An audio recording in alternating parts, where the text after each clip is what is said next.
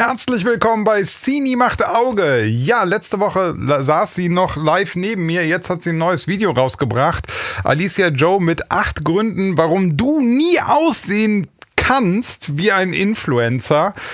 Äh, ich weiß gar nicht, ob das auch an mich gerichtet ist. Aber wir finden es heraus.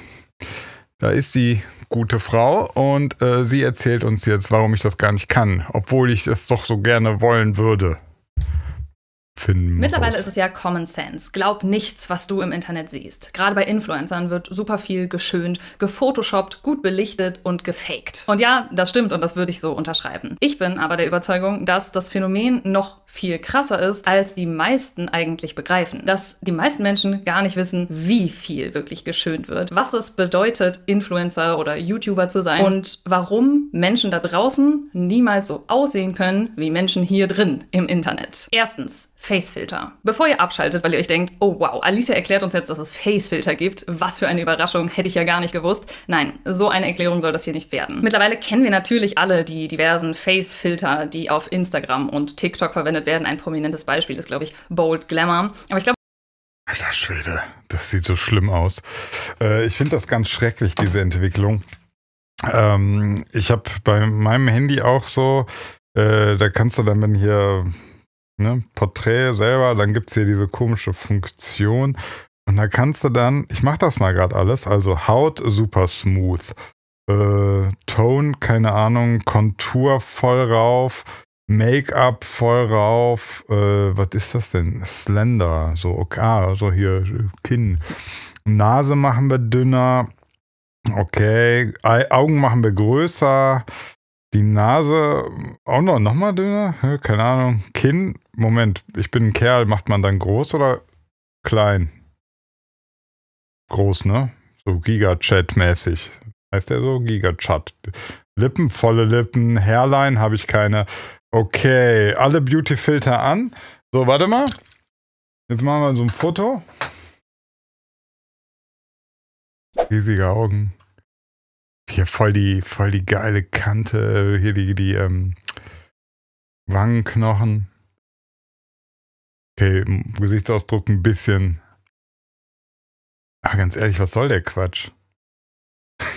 Jetzt sehe ich voll untergewichtig aus, ja. Aber warum, warum kann mein Handy das? Was soll das? Da, könnt ihr jetzt hier. So, im direkten Vergleich. Ne, so rum, ne? Völliger. Also, ich weiß auch nicht. Und das, das sind so tausend Funktionen, die das irgendwie hat, will ich gar nicht. Und auch hier, boah, das ist doch nicht Alicia.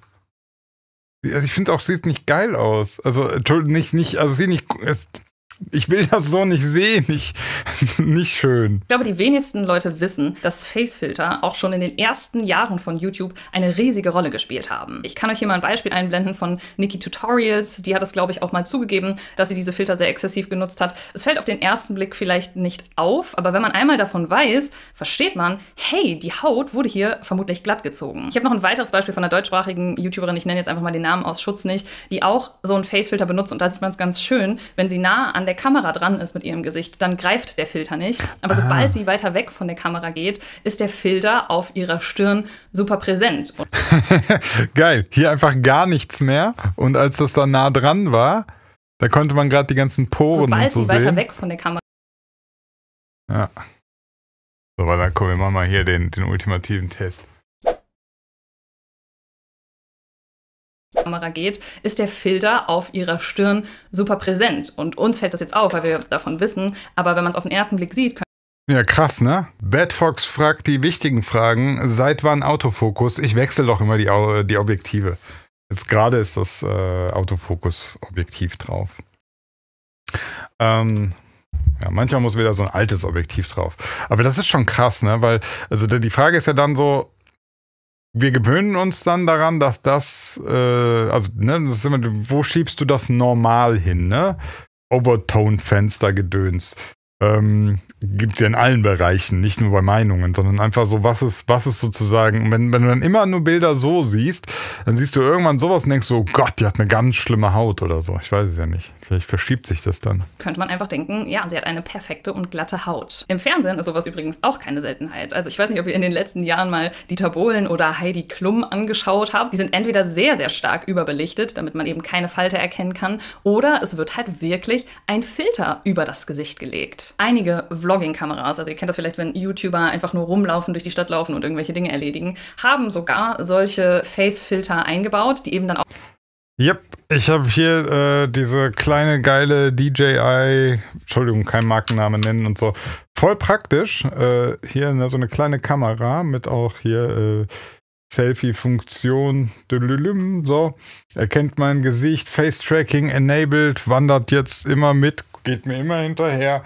So, und hat auch diese Filter drin. Ich kann das so in live.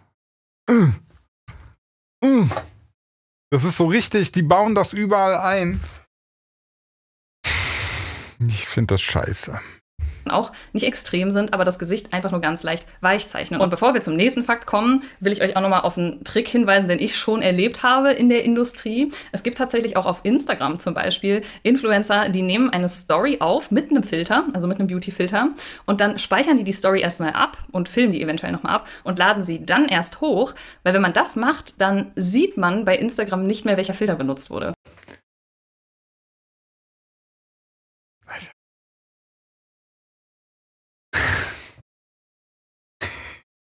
Weißt du, selbst, selbst wenn man jetzt sagen würde, komm, dann, dann benutzen halt alle diese Filter. Aber damit wir auch darüber im Klar, uns im Klaren sind, dass Filter benutzt werden, damit man wenigstens die Chance hat zu glauben, dass jemand äh, da ein bisschen nachgeholfen hat oder und so weiter. Nein, dann macht man einen Re-Upload, damit das nicht mehr zu sehen ist. Und also, wen verarschen wir eigentlich hier die ganze Zeit? Uns selbst, uns alle gegenseitig. Warum tut man das? Also mittlerweile ist es ja so, man kann immer sehen in der Story, wenn jemand einen Filter benutzt, mhm. aber wenn man die Story erstmal runterlädt und dann nochmal hochlädt, dann ist das nicht mehr gekennzeichnet. Zweitens, die 2D-Problematik. Wenn ihr jemals in eurem Leben mal eine Person in echt getroffen habt, die ihr aus den Medien kennt, also aus dem Fernsehen oder aus YouTube oder aus Instagram, dann wird euch vielleicht etwas ganz komisch an der Person vorgekommen sein, einfach weil die ja jetzt in 3D vor euch steht. Das ist oft total ungewohnt. Und mit ja, das war, das war echt lustig. Ähm, jetzt kann ich ja, äh, sie, sie, war ja letzte Woche hier und jetzt ist sie da im Fernsehen und äh, äh, im Bildschirm. Und es war, war witzig, weil ich natürlich, also bei ihr ist es so, äh, bei Alicia, ähm, man sieht sie super selten im Profil. Das, weil 99% der Videos sind ja frontal, ne? Und das war total interessant, weil ich so gemerkt habe, krass, im Profil habe ich sie fast nie gesehen. Und das ist ja nochmal so ein ganz anderer, ja, tatsächlich ein ganz anderer Blick auf die Person. Und ähm, ist, äh, ja, spannend. Ich kann gar nicht sagen, also falls ihr jetzt irgendwie gedacht habt, ich hau jetzt irgendwie voll die krasse Infos raus, boah, im Profil, das habt ihr, das glaubt ihr gar nicht. nee, ist bei ihr wenig überraschend. Äh, man erkennt sie immer noch.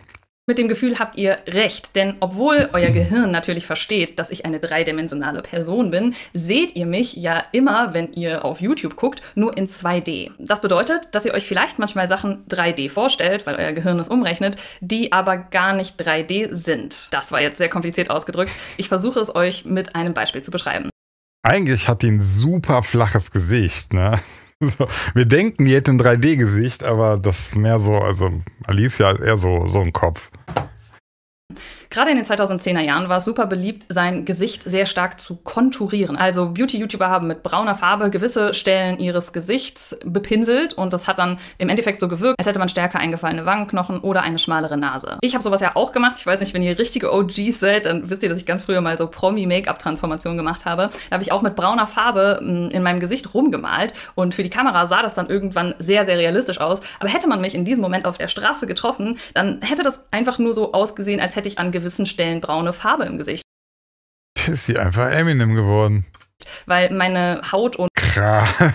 Boah, das ist. Das. Was? Das ist echt ein bisschen spooky. Also, das sieht jetzt einfach echt aus wie Eminem. und mein Gesicht ja nicht wirklich an diesen Stellen zurücktritt. Und vielleicht ist euch das auch schon mal aufgefallen, wenn ihr irgendwie im Club unter. War es jetzt Zufall? Sieht sie zufällig ähnlich aus wie Eminem oder oder geht das, oder kann man aus mir auch ein Eminem machen? Das habe ich jetzt nicht verstanden. Unterwegs seid oder abends in der Bar und da sind Frauen, die sehr, sehr stark geschminkt sind und ihr merkt, ey, die haben hier voll den braunen Balken. Ja, das liegt daran, dass das Contouring in der Realität nicht so gut funktioniert, wie es auf Social Media aussieht. Also natürlich kann man mit brauner Farbe so ein bisschen arbeiten und ein bisschen was highlighten und bronzen, aber nicht so, dass man wirklich sein Gesicht komplett umformen kann. Das funktioniert nur in 2D. Und wo wir gerade schon beim Thema Make-up sind, also vielleicht In den, Im Chat gerade jemand. Hm, sehr shady. Entschuldigung. Vielleicht seht ihr mich jetzt hier gerade und denkt, wow, Alicia ist ja gar nicht so stark geschminkt oder die sieht ja sogar fast ungeschminkt aus. Nein, jetzt. Bam! So, jetzt machen wir mal hier, jetzt gehen wir brutal in die Analyse rein. Jetzt wird's gemein. Also, wir machen mal hier. So. so. Ja. So. Sag bin ich der Einzige, der ungeschminkt besser findet? wir, wir, dürfen doch gerade bewerten, oder? Oder, oder darf man. Nee, das darf man nie, ne? Hm. Ich überlege gerade. Ich finde, ich finde, hier wirkt, wirkt sie, also, was die, ja, es ist schwer zu vergleichen. Das ist natürlich, äh, weil der Blick ist auch anders, ne? Hier wirkt sie einfach nicht so streng. Aber das ist, glaube ich, der Gesichtsausdruck. Ja, beides natürlich top, aber. Ja, hier ist nochmal ein, ein freundlicher Frame. Ah, hier, warte mal, die zwei kann man gut vergleichen. Was ist denn der Unterschied? ich finde das gerade voll interessant. Was hat die denn gemacht? Also, ähm, Schmink, äh, Re Reverse Engineering mit Cini Schminktutorial. So, also, wir gucken mal. Also, ich glaube, hier ist so hell, oder? Das ist dann nachher, warte mal, hier muss ich jetzt mal, zack. Nee, ist immer noch hell. Ah, okay, also äh, hier Mascara ist das, glaube ich, oder? Wimperntusche. So. Dann Lippenstift habe ich erkannt, ja. Ähm, ja, insgesamt so ein bisschen Make-up-Puder. Aber vieles nicht.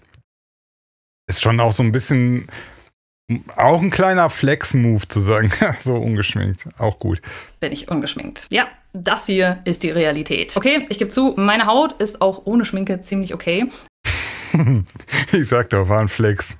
Aber dafür nutze ich als Influencer natürlich auch einen Trick. Formel Skin. Das Verrückte bei Formel Skin ist nämlich, dass man auf seine Haut und seine Bedürfnisse von Experten einen Behandlungsplan und die entsprechenden Produkte zugeschickt. Jetzt kommt hier Werbung. Das Glückliche ist, ich äh, bin noch krasser drauf. Ich mache jetzt den noch krasseren Flex als Alicia an der Stelle.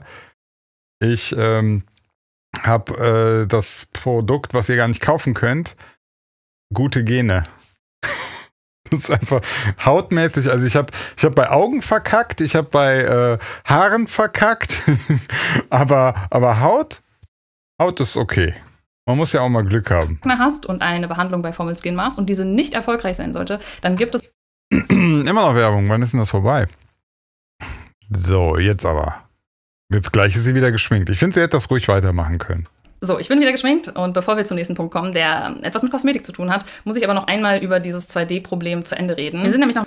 Jetzt frage ich mich, ne, so videotechnisch, ähm, muss ich sie mal fragen, aber ich bin mir ziemlich sicher, weil sie ist ziemlich clever. Sie hat das bestimmt so gemacht. Sie hat den Take ungeschminkt als erstes aufgenommen, dann einmal geschminkt und den Rest aufgenommen. Ne? Statt schminken, abschminken, wieder schminken. Das wäre voll doof. Noch ein paar andere Beispiele eingefallen. Also kennt ihr. Und ihr fragt euch jetzt, ist das nicht mega unwichtig für das Video jetzt? Ja, das stimmt. Zum Beispiel diese Videos, wo Leute auf Instagram ihre Lippen richtig, richtig stark übermalen. Das finde ich total Panne. Das habe ich letztens auch.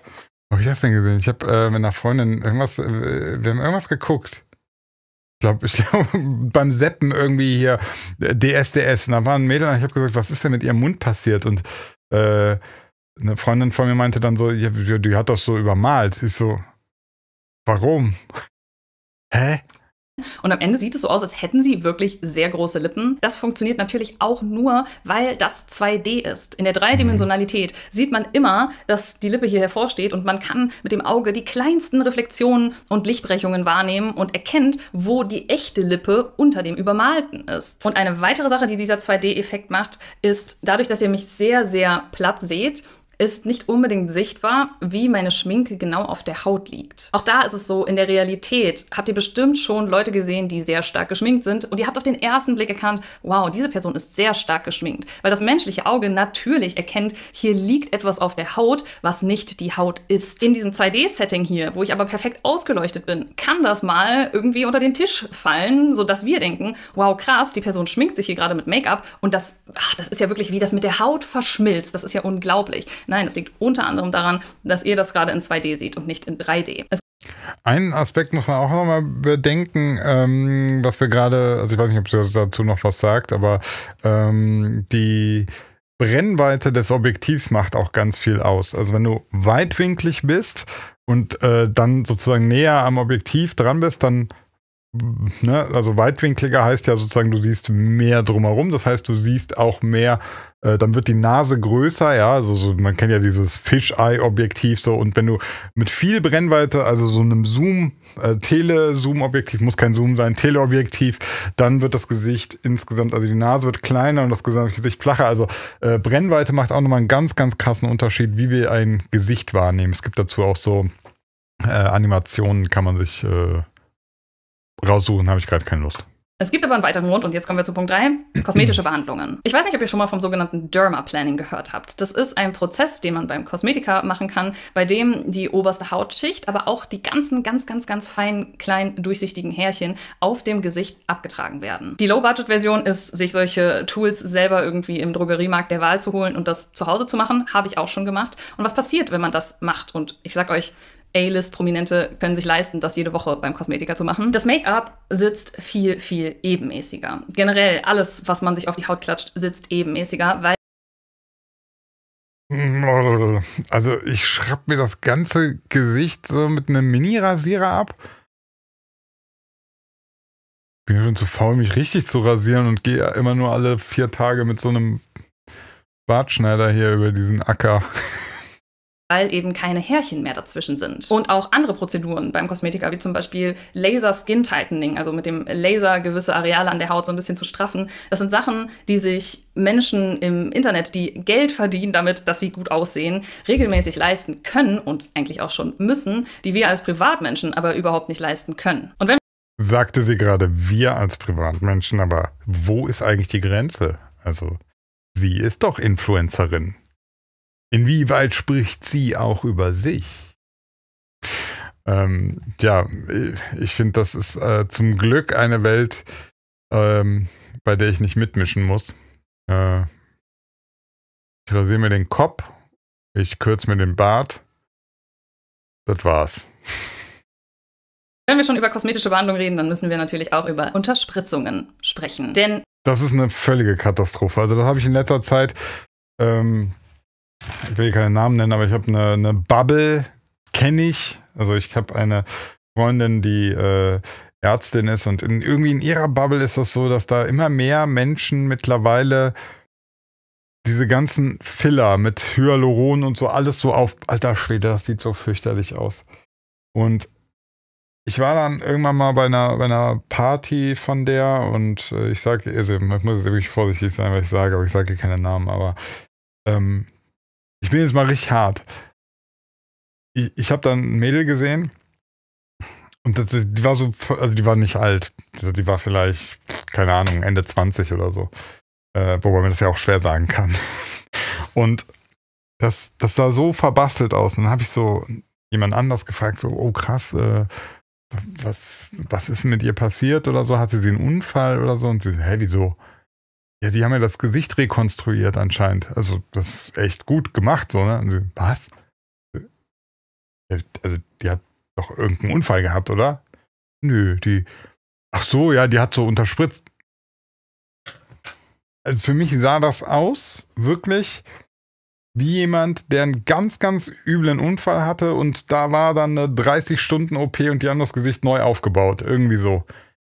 und dann habe ich die danach, also ich habe sie nicht, ich habe sie nicht darauf angesprochen und so, äh, ne, alles gut. Und danach habe ich echt gesagt, äh, bei, bei zwei, wo ich mir sicher bin, da konnten wir so drüber reden, habe ich gesagt, seht ihr das nicht? Und so, ja, ich kenne die jetzt schon so lange und das ist ja so sukzessive passiert, ne, immer ein bisschen mehr. Und das fand ich krass, dass das auch Leute in ihrem Umfeld gar nicht mehr sehen.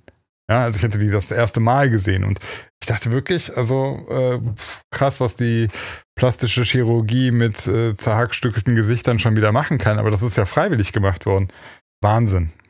Ja, auch das ist ein offenes Geheimnis. Ganz viele Menschen in den Medien sind heutzutage unterspritzt. Ich glaube, das beliebteste sind die Lippen, die voller gespritzt werden, aber auch hier zum Beispiel, ich kann es bei mir mal gerade zeigen, also ich, ich, bin nicht unterspritzt, aber ich habe hier so eine ähm, Rinne im Auge, unterm Auge, so eine Tränen, Tränensackrinne oder sowas. Das wird auch zum Beispiel sehr gerne unterspritzt. Was ich euch eigentlich sagen will, ist, wenn man die Haut unterspritzt, dann ist die Haut prall. Auch dafür ist ein beliebtes Beispiel die Beauty-YouTuberin Niki Tutorials. Also die hat auch zugegeben, ihr ganzes Gesicht im Prinzip unterspritzt zu haben. Und wenn die Haut Mensch, wäre ich gar nicht drauf gekommen.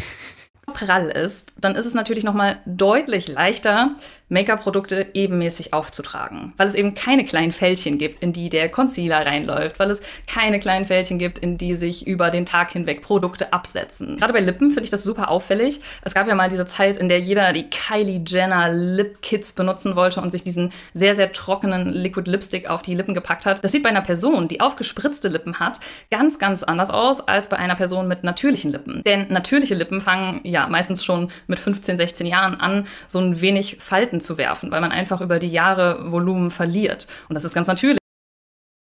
Ich weiß gar nicht, was sie meint.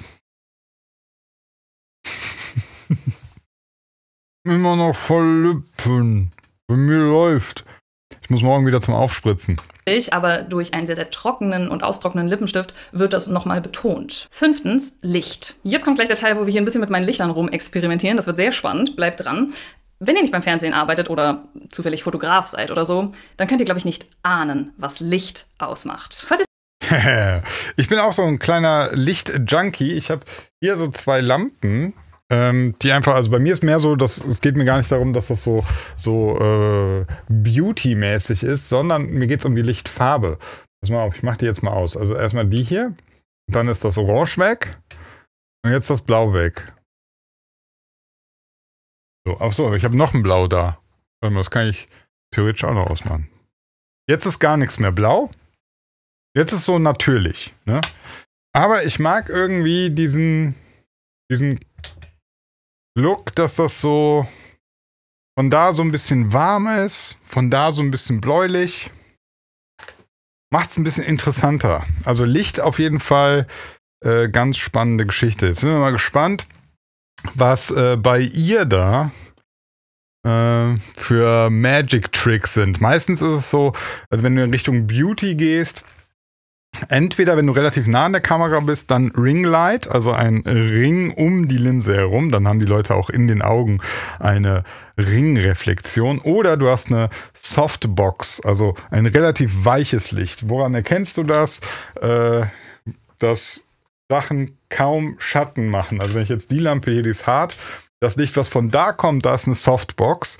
Das Licht, was von da kommt, ist soft. Dieser Stift hier macht so gut, also gar keinen, ihr seht das, es, es, macht, es wirft keinen Schatten.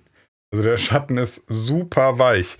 Hingegen das Licht hart, ja, wenn ich jetzt das mal ein bisschen drehe, so, hier, ihr seht den Stift, ihr seht den Schatten. Hartes Licht, wir sehen auch Falten. Weiches Licht, Falten weg. Herzlich willkommen beim Licht-Tutorial bei Sinan. Jetzt gucken wir mal, was Alicia uns hier noch für Tricks verrät. Was ihr es nicht wisst, ich habe hier hinter mir ein Licht, was mich von hinten anstrahlt, von hinten unten, damit meine Konturen scharfer sind. Ich habe hier zwei farbige Lichter, die das Bild so ein bisschen schöner machen. Ich habe vor mir zwei riesige Softboxen, die alles verschwinden lassen und schlucken, was Licht schlucken kann. Ja, Licht schluckt. Deswegen ist zum Beispiel Fernseh-Make-up auch viel, viel krasser als privates Make-up, weil da schon mit einkalkuliert wird, dass die Lichter viel verschlucken. Okay, ich habe jetzt zweimal das Wort verschlucken gesagt, ich kann es nicht anders beschreiben. Was meine ich? Frontales Licht leuchtet jeden Hügel aus. Und mit Hügel meine ich sogar die ganz, ganz kleinen Hügel, die unsere Poren auf unserem Gesicht veranlassen, da zu sein. Wenn ich das Licht jetzt zur Seite packe, dann wird euch auffallen, dass mein Gesicht schon deutlich unrunder aussieht. Also ich mache mal dieses Licht hier so ein wenig weg. Und hier lasse ich mich jetzt mal so von der Seite beleuchten. Und ihr merkt sofort, auch wenn es natürlich noch nicht so extrem ist, weil es trotzdem noch ein gutes Licht von der Seite ist, dass viele Unebenheiten viel mehr da ja, wir sehen jetzt, das ist ganz interessant. Wir sehen mehr Poren, ja, wir sehen Unebenheiten und das ist äh, aus der Beauty-Sicht, äh, würde man sagen, das ist jetzt für Sie jetzt wahrscheinlich schlechter. Ähm, der Vorteil ist aber, das Gesicht bekommt mehr Charakter, ne? mehr Kontur. Wir sehen es, wenn ich jetzt mal hin und her gehe. Ähm, hier, das ist ja all bright, alles hell, glatt. Und hier, das hier hat halt, also das ist, ähm, wenn du jetzt zum Beispiel auch dann bei Filmen oder so, äh, du willst einen Charakterdarsteller, der vielleicht irgendwie, weiß nicht, gerade ein bisschen was, was durchgemacht hat oder vielleicht jemand das bedrohlich. Bedrohlich wäre meistens Licht von unten. So, ne, so mehr, aber das ist jetzt sehr hell. So, äh, so keine Ahnung, können wir hier mit dem Licht spielen. Hui. So, aber ähm, deswegen bin ich da immer ein bisschen hin und her gerissen, wenn man äh, zu krass dieses Beauty-Ding macht, weil das andere, äh, ich, ich meine, bei Frauen ist das nochmal ein bisschen anders, die sind da noch ein bisschen empfindlicher, was so, was halt, halt so Hautporen und so anbelangt. Bei Männern ist das meistens dann eher, weiß nicht, da, da, man, da verzeiht man das irgendwie mehr.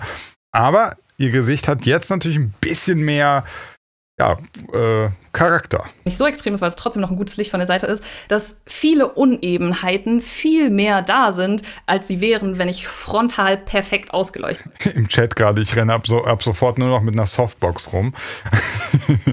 Bewölkter Himmel, immer gut. Bewölkter Himmel, größte Softbox aller Zeiten. Oh. bin. Man sieht Falten viel eher. Ja, hier zum Beispiel die Nasolabialfalte tritt ja auch viel stärker hervor. Diese Rinne dass man die Namen der Falten kennt, da weiß man schon, jemand hat sich damit beschäftigt. Wie, wie heißt die Falte? Hier tritt viel stärker hervor. Und insgesamt, wenn ihr jetzt richtig nah rangehen würdet, würdet ihr auch sehen, dass meine Haut so ein bisschen unebener wirkt. An der Stirn sehe ich gerade, kann man das vielleicht auch sehen. Also ich habe natürlich nicht die perfekt runde Stirn, sondern hier sind natürlich auch irgendwie Knochen und so. Und hier gibt's. Die hat Knochen an der Stirn. Bah, das ist ja ekelhaft. Dann vereinzelt, dass man sieht, ah, das ist nicht so eben, wie wenn es frontal kommt. Ich mache jetzt nochmal die Lichter. Aber bisschen mehr Kontur. Der Frontal an, zack, boom. Drei Jahre jünger, oder? Was Licht außerdem macht, ist Zähne aufhellen und Augenweiß aufhellen. Also äh, ja, also ich habe natürlich sehr gute Zähne, würde ich behaupten, auch sehr helle Zähne, aber Weiß reflektiert Licht nochmal stärker als der Rest meines Gesichts. Während die Haut ja hier eher beige-braun ist, kann das Weiß richtig krass Licht zurückwerfen und dadurch wirken meine Zähne noch heller. Und das ist natürlich gerade im Fernsehen fatal. Also da sind sowieso sehr viele Menschen, die natürlich zum einen gebleachte Zähne haben oder zum anderen einfach Veneers oder Kronen, die sowieso sehr hell sind. Und wenn die dann nochmal durch Lichter äh, gebleicht werden, dann wirkt das halt immer so unnatürlich. Und da will ich den Leuten gar keinen Vorwurf machen, die ja im Fernsehen dann so wirken, wo man direkt denkt, wow, was hat der Sieht aber auch Panne aus. Ja, für eine Kauleiste. Ich glaube, wenn die in echt in den Spiegel gucken, wirkt das gar nicht so krass unnatürlich. Wie wenn sie in einem Fernsehstudio sind oder irgendwo sonst, wo. Sagt sie, ich will denen gar keinen Vorwurf machen. Ja, gut, also muss er keinen Vorwurf machen, aber man könnte ja sagen, sich irgendwie die Zähne verschalen lassen, ist halt auch irgendwie, ich weiß nicht, also ähm, es gibt so seltene Fälle. Äh, warte mal, Dead Mouse Teeth Before After. Ich glaube, der hat, äh, der hat eine, eine starke ähm, Drogenkarriere oder so hinter sich. Keine Ahnung. Der hatte irgendwann mal ein Foto gepostet, ähm, wie, er, wie er vor also wie er aussah. Moment, ich hab's gleich. Ähm, kann ich hier irgendwie einen Screenshot machen? Wieso kann ich das? Manchmal ist die Google äh, Fotosuche auch irgendwie eine Vollkatastrophe. Ne? Dann klickst du das Bild an und dann ist das da gar nicht. So, Dead Mouse, bevor er sich die Zähne hat machen lassen, sah tatsächlich so aus. äh, ja. Und da ist dann so der Fall, wo ich sage, okay, okay. Wie kann man vielleicht machen? ja, jetzt, ähm, ich weiß nicht, mittlerweile sieht er, sieht man ja irgendwie mal bessere Bilder jetzt, wo das ist. Also jetzt hat er ein ganz normales Gebiss. Ich glaube, er hat auch nicht komplett übertrieben mit den Veneers. Aber da würde ich schon sagen, also das war vorher so demoliert. Ähm, da würde ich dann, das ist schon, das ist schon eher wirklich wie nach einem Verkehrsunfall Gesicht nochmal neu aufbauen. Kann man verstehen wo richtig krass Licht drauf gegeben wird. Und das letzte zum Thema Licht ist vielleicht etwas äh, für die männlichen Zuschauer, wenn die bis hierhin überhaupt noch dran geblieben sind. Aber ja, es soll ja auch Männer geben, die sich mit Ästhetik und Aussehen auseinandersetzen. Krass, meine, meine äh, Cappy ist so eng gewesen hier. Ich habe jetzt hier, eine Kante in der Stirn. Alter. Ja, sonst äh, natürlich. Ich muss aber auch sagen, also auch da, ne, obwohl keine Haare mehr, relativ früh. Zumindest Glück gehabt mit der Kopfform, ne? Also Kopfform würde ich schon sagen, für Glatze optimal. Äh, so. Doch, das ist, da habe ich, da ist jetzt hier eine. Sieht ja aus, schlimm. Machen wir so, dann kann sich das auch wieder beruhigen. So. Interessantes Video, ich finde das spannend. Ihr habt das vielleicht schon mal bei Bodybuildern bemerkt oder auch nicht, dann erkläre ich es euch jetzt, dass Licht eine riesige Rolle spielt. Ach so, das anabole Licht, ja, ja, ja, heißt das so, dass man die Muskeln halt mehr sieht, klar. Also ich kenne auch Leute im privaten Umfeld, die Fitness viel machen und wenn dann irgendwo ein krasses Licht ist, ist es immer so, oh Mann, hier ist krasses Licht für äh, Muskeln und sowas. Was bedeutet krasses Licht für Muskeln? Krasses Licht für Muskeln bedeutet da eigentlich genau das Gegenteil, wie was es für mich bedeutet. Für mich ist ja am besten sozusagen perfekt ausgeleuchtet zu sein. Für Bodybuilder ist ganz wichtig, ein starkes Licht von einer Quelle zu haben, damit die Muskeln richtig gut Schatten werfen können und somit noch krasser hervorstehen. Und mit so einem Licht kann man wirklich von richtig stabilem Körper zu wow, das ist ja fast ein Bodybuilder-Körper kommen. Licht macht richtig viel aus in dieser zur Info, der Typ geht aber auch wirklich trainieren. Also äh, eine Hoffnung muss ich euch nehmen. Wenn ihr glaubt, äh, ihr braucht nur das richtige Licht, um Muskelberge zu haben. Nein, nein, der Trick ist, du musst Muskeln aufbauen und dann hilft dir das richtige Licht, sie zu zeigen. Andersrum nicht. Das Szene. Sechstens, das Beste von. Obwohl wir sollten den Leuten Lichter verkaufen, die Muskeln aufbauen. Die müssen halt nur äh, dreieinhalb Tage davor und dreieinhalb Tage danach massives Krafttraining machen. Aber dann wirkt dieses Licht super krass. 5000 Euro, bist du dabei? Komm in die Gruppe.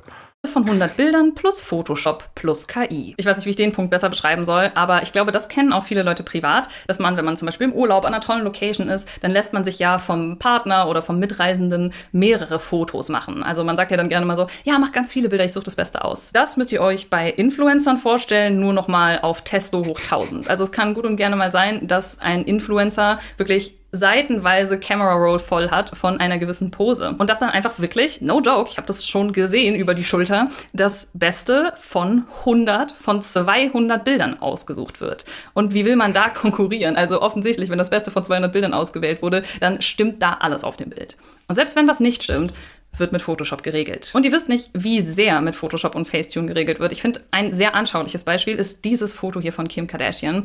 Da wird zum Beispiel vermutet, dass da sehr viel an ihrem Körper gefotoshoppt wurde. Und jetzt fragt ihr euch vielleicht, hä, wo soll man denn hier photoshoppen? Also da sieht man doch kaum Brüste oder Bauch oder Po. Nein, der Nacken ist der Knackpunkt. Die meisten von uns wissen, dass wenn man sich so auf einen Poolrand stützt, dass man dann so eine Art Stiernacken bekommt. Also natürlich gehen die Schultern hoch und die Muskulatur im Halsbereich geht auf. wenn man den direkten Vergleich sieht, sieht, sieht's richtig spannend aus. So, so denkst du so, ja, ist so no normal, ne, wenn du dich so aufstützt, ne, und dann bumm.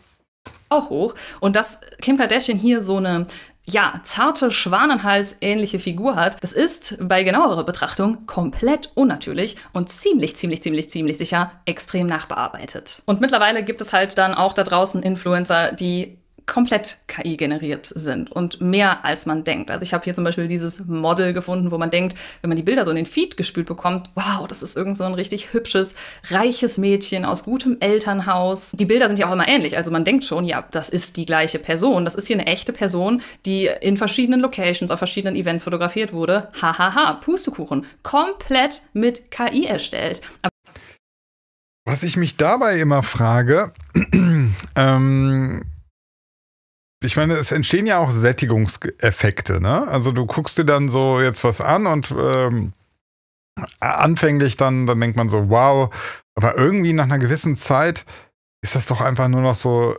also dann, dann, dann hat man sich doch auch daran gewöhnt, oder? Auf der anderen Seite, jeden Tag werden Menschen geboren, werden wieder, kommen wieder ins äh, paarungsfähige Alter und äh, sind von den immer gleichen Sachen getriggert. Hm. Ob die, die müssten dann auch erstmal durch diese Gewöhnung und die Sättigung durch. Weiß es nicht. Aber das sieht man nur, wenn man auch wirklich mal aufs Profil raufgeht und die Bio- oder Infobox liest. Und wer macht das schon, wenn man jetzt so einen kompletten Instagram-Feed vor Augen hat? Da sieht man ja ganz viele Bilder auch nur aus dem Augenwinkel und weiß vielleicht gar nicht, dass das eine KI ist. Alleine das, also wie viele Bilder wir vielleicht am Tag schon sehen von unrealistischen Körpern, nicht nur durch Photoshop, sondern auch durch KI, wo wir es aber gar nicht wissen und es trotzdem in unser Unterbewusstsein aufnehmen, ist verrückt. Siebten? Ja, ähm, das ist mir auch nochmal, also diese Überpräsenz von mega schönen Menschen, ähm, boah, das ist schon irgendwie. Ja, also es, ich weiß gar nicht, was das genau macht. Äh, ich glaube oder hoffe immer, dass das keinen so krassen, keine so krasse Auswirkung hat, aber ähm, ja, irgendwie scheinen ja doch viele, es scheint ja viele zu beschäftigen. Hm. Bodyfilter. Wir haben anfangs über Gesichtsfilter geredet. Was jetzt kommt, ist krass. Ich habe schon vor vier Jahren ein Video dazu gemacht hier auf diesem Kanal. Da hatte der Kanal noch nicht die Form, wie er heute hat. Aber da habe ich eine App entdeckt, die den Körper live und in Farbe verformen kann. Und zwar nicht nur auf Fotos, sondern auf Videos. Also da wird mal eben einfach angegeben, mach meine Taille ein bisschen dünner und meine Beine ein bisschen länger und dann passiert das. Und ihr seht vielleicht, selbst wenn in dem Video andere Sachen zu sehen sind, wie zum Beispiel ein Bilderrahmen oder eine Steckdose an der Seite, die sind nicht verzerrt. Das ist schon echt, boah. Wir verarschen uns halt ganze Zeit, also. Ich kann euch eins sagen. Ich als äh, erfolgloser Influencer mache sowas nicht. Das Einzige, was ich mache, ist äh, Licht, Farben. Also wenn ich Fotos mit so richtig RAW-Fotografie mache, dann halt natürlich. Oder was ich schon mal mache, ist äh, so, so, so ein Geländer weg oder so, ne? Also wenn das Bild einfach gestört wird von, von irgendeinem, weiß nicht, da, ich hatte mal irgendwie was, dann, da war ich im Meer und hinten schwamm noch so eine Boje rum. Ja, dann, dann macht man die Boje halt weg. So, aber, aber so war es hier, so Körper verformen, boah, schon. Das Problem ist halt wirklich, ne, dass du dann irgendwann anfängst, ähm, so, dann, dann ist das halt das Normal und dann irgendwann, ja, schwierig. Nein, nein, es wird nur der Bereich der Taille verzerrt. Und das ist perfide. Vor allem auch, vor allem auch krass. Also sie geht ja auch mit den Händen da lang und das morpht gar nicht rum. Uiuiui, das ist schon echt gut. Also, ihr habt vielleicht schon mal irgendein Video von jemandem gesehen und habt euch gedacht, wow, oh mein Gott, die Person ist so sportlich, das sieht so gut aus. Und das kann ja nicht fake sein, das kann ja nicht Photoshop sein, weil es ist ja ein Video und es ist ja auch jetzt nicht irgendwie ein Video im Studio. Nee, es ist ja ein Video von der Person, wie sie über die Straße läuft. Hm, auch das kann heutzutage fake sein, live und in Farbe. Das ist kein Problem für viele Programme, da die menschliche Teile zu erkennen, diese schmaler zu machen und den Hintergrund gegebenenfalls anzupassen. In dieser App, in der ich das damals getestet habe, ging das sogar für das Gesicht. Also das war dann kein Gesichtsfilter, der irgendwie die Haut glatter gemacht hat, sondern eine ganz andere Art von Filter, die einfach die Körperteile verändert hat, die ich verändern wollte. Also ihr seht das hier, ich habe in dem einen Bild, auch wenn man es kaum sieht, aber wenn man es weiß, ist es erschreckend. Ich habe meine Augen größer gemacht, meine Nase kleiner gemacht, meine Lippen größer gemacht. Ja, genau, das kann meins ja auch. Mein Handy jetzt, äh, scheiß China-Zeug hier. Ähm, ich glaube, das kann das auch in Video. Ja, Video auch. Kannst du genau dieselbe Scheiße machen. Kann meine Kopfform verändern, meine Augen größer machen in Video. Hallo! Sieht total Panne aus, ey. Ah. Macht meine Stirn kleiner gemacht. Und das Video sieht komplett real und echt aus. Ich glaube, wenn man das einzeln sehen würde, würde niemand erkennen, dass hier was verändert wurde. Achtens, Klamottenklammern. So nenne ich die jetzt einfach mal. Ich muss es der Vollständigkeit halber beim Thema Bodyfilter vielleicht auch noch erwähnen. Also es muss nicht mal sein, wenn ihr jetzt zum Beispiel einen Fashion-Influencer seht, darauf ist das eher bezogen, dass die Person. Das ist interessant, ich folge gar nicht so viel Fashion-Influencern. Warte mal, ich überlege kurz. Nee, keinem. Merkt man gar nicht, ne? So fashy-mäßig, wie ich hier so schummelt, dass die ihre Taille schmaler macht, als sie ist. Es ist ein ganz, ganz gängiges Mittel und da sprechen wir jetzt nicht nur von Influencern, überhaupt nicht, sondern wir sprechen von der Klamottenindustrie. Wirklich große, große Online-Shops, die auf ihren Websites Fotos veröffentlichen, wie der Pullover denn aussieht an einem Model. Die nutzen ganz, ganz oft für Fotoshootings so Klammern. Ich weiß leider gerade nicht den Fachbegriff um die Kleidung zu tacken. Also ich habe selbst schon in Firmen gearbeitet, in der Beauty- und Fashion-Branche und ich habe sowas auf Shootings erlebt. Das war ganz normal. Das Model ist angekommen, das Model hatte vielleicht nicht die perfekte Größe für das jeweilige Kleidungsstück und dann wurde die Hose so getackt, dass sie dem Model passt. Aber das hat ja niemand im echten Leben. Also selbst wenn du die Größe kaufst, die du hast. Ja, man läuft auch ein bisschen blöd damit rum, würde ich sagen. Also mit diesen Klammern. ich finde das so geil, was die Leute sich für, für ein auf, was die für einen Aufwand betreiben für all den Müll. Also ich äh, ziehe morgens eine Jogginghose an. Hier, kleiner Beweis. Guck mal, guck mal, wie schön die sitzt.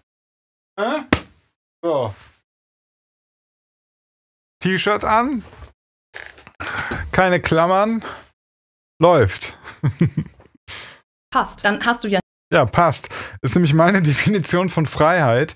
Ähm, einfach auf so viel es irgendwie nur geht zu scheißen. Das ist, das ist wirklich, ich, deswegen ist, glaube ich, auch so dieses Thema Freiheit. Ich hatte es ja auch in der letzten Finanzwoche und so. Ähm, ich, ich wünsche mir das für so viele Leute, weil, weil, die, weil ich immer merke, wie sie in ihren Zwängen, in ihren gesellschaftlichen Zwängen irgendwie leben, wie sie äh, ständig das Gefühl haben, sie müssen gefallen halten oder, oder ne, dieser Wunsch auch gemocht zu werden. Äh, ein Stück weit nachvollziehbar, alles okay.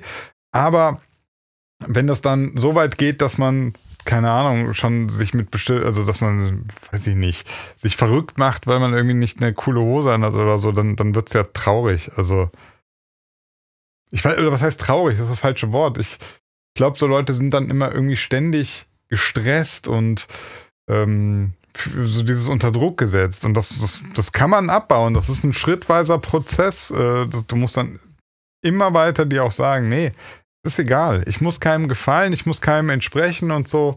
Das ist im Übrigen ja auch so der Bereich, wo ich, äh, was, was vielleicht ja manche schon gar nicht glauben können, ähm, der, der queeren Szene, sage ich mal, also den ganzen, den Queers, dem Q bei LGBTQ, also queer ist ja nicht nur, dass es jetzt heißt, äh, ähm, lesbisch, schwul oder bi oder irgendwas zu sein, sondern queer im Sinne von unangepasst, äh, verrückt äh, und, und das ist so dieser Bereich, wo ich sage, das finde ich eigentlich total cool. Und das finde ich auch, sollte man weiter pushen, dass man, also außer, also die, die Norm von Sachen, die, ähm, die wir irgendwie als in Ordnung empfinden, dass wir die einfach ausweiten.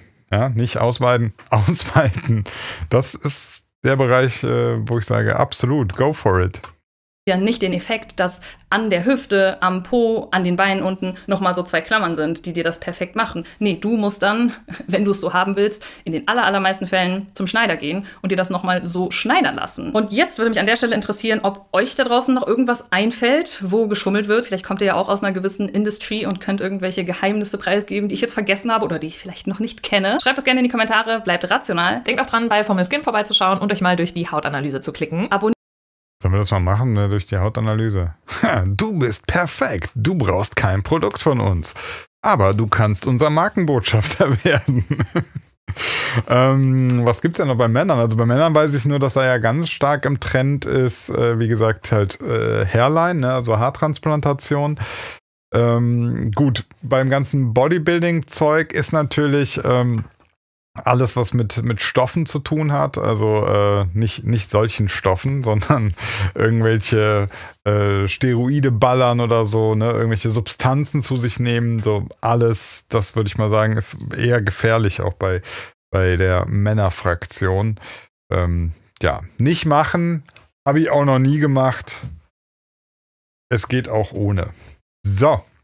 Äh, ja, vielen, vielen Dank, ähm, Alicia und äh, zum Abschluss will ich noch eine Sache sagen, ist mir wichtig.